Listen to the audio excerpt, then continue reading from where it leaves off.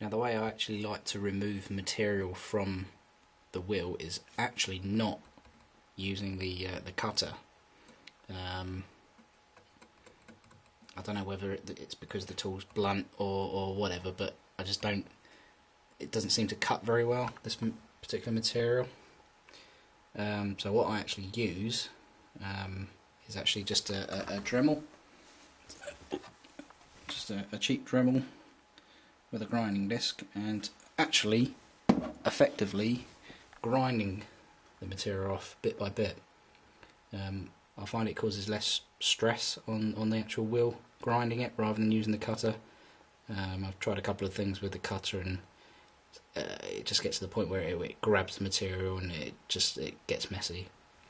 So um, yeah, that's the method I use. It might not be proper use of a lathe to use a, a, Dremel like this, but it's I find it's very clean um, and it gives it it gives a good finish and it's just less less stressful for the wheel. So what I'll do now is spin the lathe up, power up the Dremel, and um, just by hand just um, offer up the, the, the cutting disc to the back of the wheel and therefore grinding it down just bit by bit just gently touching it on bringing it back not not holding it on for the like the whole time because the uh, material is going to heat up then which you don't really want so it's more of a grind a little bit, ease off, a little bit more, ease off, just just uh, just by hand really, um, until that flange lip is reduced to about one point,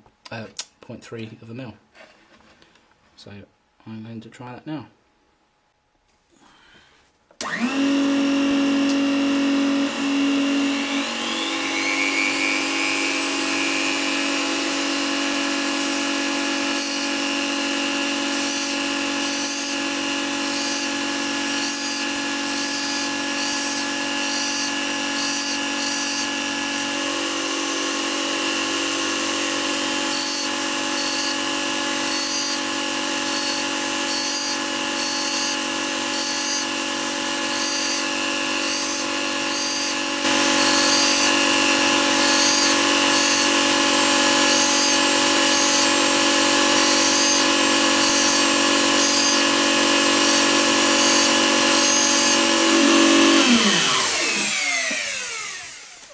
Have a quick look. I can see straight away that the um, the back started to change uh, the finish for where it's actually the disc is ground the back, and uh, it's taken a little bit off, but we need to go quite a bit more. So that flange width is uh, down to 0.3 of a millimeter. So it's just progressive. Just keep going um, take bit by bit off and you can actually use the um, the caliper to go in and measure what we are on the uh, on the flange. Thickness of the flange there so it's yeah it's just progressive. It doesn't take too long at all. Um, just try not to overdo it because you don't want to uh, go too much and then lose lose the lose the flange. So just go progressively bit by bit and checking is probably a lot better than uh, going in there full throttle and um, yeah, buggering things up basically. so I'm going to carry on doing that. Okie doke, that took about about two minutes. Um, grinding off now. I've only ground the metal bit and not the uh, not the, the, the, very dead centre, not the plastic bush. Um, so that's still kind of retaining its original length. Uh, the reason I do that, it's uh, you know once we've done, it gives the maximum amount of bite on on the shaft when the wheel goes back on the shaft. So yeah, I'll keep that original. Just just take the wheel off. So yeah, I'm measuring around about um, 0.26 with the uh, measuring with the caliper. So I'm happy with that. Um, next step. Uh, now something I haven't talked about is actually the overall diameter of the flange. um, 2mm fine scale standards um, indicates that the diameter of the flange should be 1mm greater than the diameter of the tread, uh, which actually isn't the case with the the N gauge wheels. Um, it's slightly over, so what I'm going to have to do is take off uh, some of the outside diameter of the flange to reduce that ever so slightly. Yeah, doing that is pretty much the same thing really. Um, we'll spin it back up. I'll spin my Dremel grinding disc up and just touch the very outside edge of the flange very gently, bit by bit, and that will take off the material and just shrink the diameter down of the flange. Uh, once I'm close, I'll then use the, the sanding block just to touch the edge as it's spinning, uh, just to smooth that off until I'm happy, and I can keep measuring it with the uh, with the uh, caliper.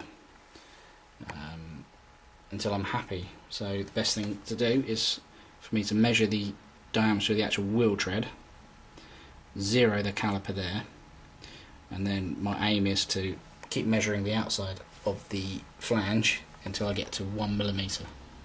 Then I know that's the that's the correct uh, diameter.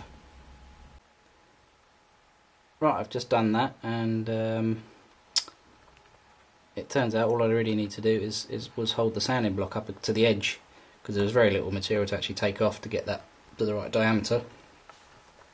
So I didn't need to hold the Dremel disc on the end. Just uh, just use the sanding block, touch it on the edge as it's spinning, and that's actually reading about 0.99 now. So what I did was measure the the uh, diameter of the tread, actually using the other wheel because they're all the same diameter. Then zeroing that and then measuring the outside of the flange and just bringing it down until it read, uh, well, about that. So I'm happy with that.